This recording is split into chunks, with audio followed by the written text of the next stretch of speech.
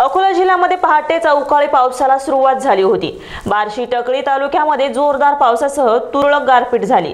तर मूर्तिजापूर तालुक्यातील माना परिसरात काही ठिकाणी गारपीट झाल्याने शेतीचं नुकसान झाले. तेलारा तालुक्यात ही पावसाने दमदार हजेरी लावत गारपीट झाल्याने शेतमालाचं मोठ्या प्रमाणात नुकसान झालंय यामध्ये हरभरा गहू भाजीपाला आणि फळबागांचे मोठ्या प्रमाणात नुकसान झाले.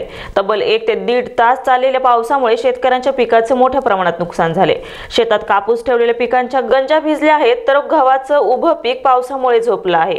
यासोबतच भाजीपाला आणि फळबागांचंही नुकसान झालं आहे. शासनाने मदत करावी अशी मागणी शेतकऱ्यांकडून केली जात आहे. सकाळी आठ वाजताच्या सुमारास अचानक अवकाळी पाणू पाऊस आल्याने आम्हा सर्व शेतकऱ्यांचं बऱ्याच मोठ्या प्रमाणात नुकसान झालं व सकाळी लवकर पाऊस आलं यामुळे आम्ही सर्व शेतामध्ये सुद्धा पोचू शकलो नाही. व आमची जे कापणीसाठी मजूर वर्ग असतो तो सुद्धा शेतामध्ये येऊ शकला नाही. त्यामुळे आमचं कापणी केलेलं पीक जिथच्या तिथं आहे गहू हरभरा आता सध्याच्या परिस्थितीत हे दोन पिकं कापणीला आलेले आहे. आणि या दोन पिकाचं बऱ्याच प्रमाणात नुकसान झालं.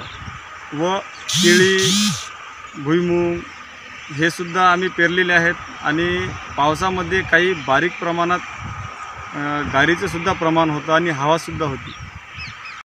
हवामान खात्याने दिलेल्या इशाऱ्यानुसार आज तेलार तालुक्यातील माळेगाव दानापूर या परिसरावर काही प्रमाणात गारपीट. तर कुठं पावसाचा पाऊस आल्याने या ठिकाणची पिकं जी आहेत ते नेस्तनाबूत होण्याच्या मार्गावरती आहेत. यामध्ये प्रामुख्याने गहू हरभरा व भाजीपाला पिके हे परत एकदा संकटात सापडल्याने शेतकऱ्यांच्या तोंडाशी आलेला घास हा या अवकाळी पावसाने हिरावून नेल्यामुळे शेतकऱ्यांना परत एकदा आर्थिक संकटाचा सामना करावा लागणार आहे. त्याकरता शासनाने या शेतकऱ्यांना भरीव ती मदत करावी अशी मागणी शेतकऱ्यातून होत bureau report star Maharashtra news Akola.